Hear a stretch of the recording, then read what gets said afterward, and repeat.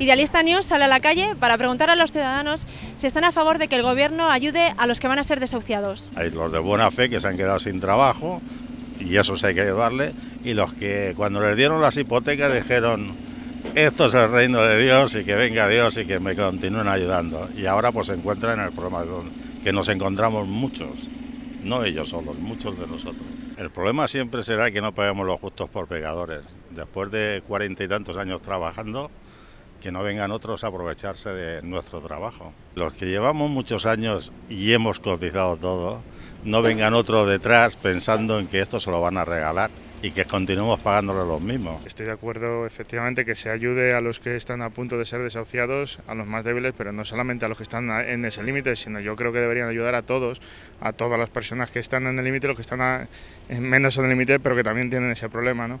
Yo creo que si tú ayudas a la persona que tiene ese desahucio, pero sigue manteniendo la hipoteca y sigue manteniendo esas deudas, la ayuda se queda a medias. ¿no? Creo que deberían trabajar por luchar porque se consiga una ley que ayude a través de la dación en pago. Lo que se trata es de esa gente no ahogarla y decir a Angela Merkel o a Sarkozy, bueno, el dinero ya os lo vamos a pagar, os lo debemos, pero no nos ahoguéis, dejar vivir a la gente, ya os lo, ya os lo, ya os lo pagaremos.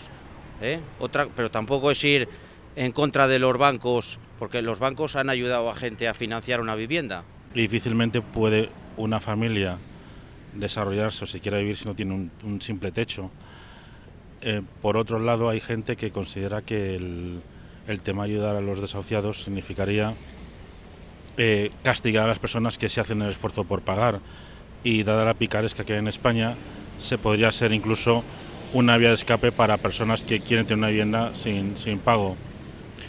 Posiblemente el mayor problema haya sido el corte, el establecer un corte creo de 19.000 euros, porque entonces, ¿qué ocurre con el que gana 20.000? Eh, posiblemente ha, sido una medida precipitada, basada en que algo había que hacer, porque no podíamos tener familias con hijos en la calle sin un lugar donde guarecerse.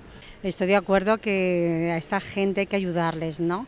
Pero hay gente que se aprovecha de estas circunstancias y entonces, bueno, pues hay que estudiar los casos individuales, ¿no?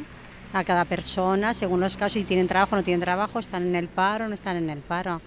Yo tengo algunos vecinos que a lo mejor no pagan la comunidad y tienen, bueno, su trabajo, entonces, bueno, tiene que haber una ley sobre esta gente. yo personalmente creo que hay que respetar las leyes, así están para algo, se tienen que cumplir.